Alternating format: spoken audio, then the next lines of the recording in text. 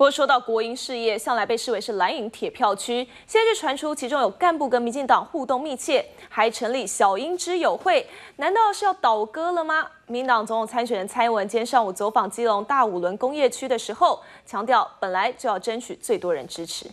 哦，还有防弹玻璃。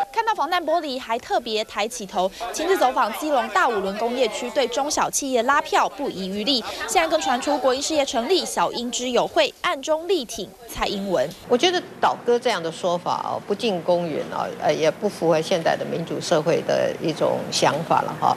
那任何的选举，呃。大候选人都是希望能够争取到最多数人还有最大的支持嘛。希望争取最多人支持，不止国营事业倒戈，原先蓝大于绿的基隆也不再是铁板一块。挺蓝工业区转向，敞开大门迎接蔡英文。但国民党阵前换将，朱立伦即将上场，还说自己内部民调和蔡英文差距在百分之十。国民党内部民调，他跟你差在十趴以内，你相信吗？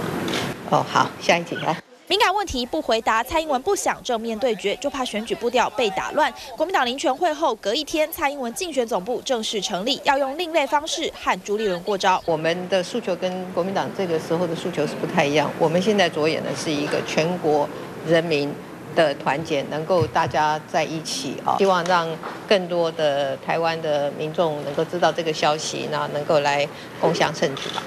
英伦对决是棋逢敌手吗？选战最后三个月，二零一六大选逐渐白热化。玉电 TV 由秦春、彭婉欣、基隆报道。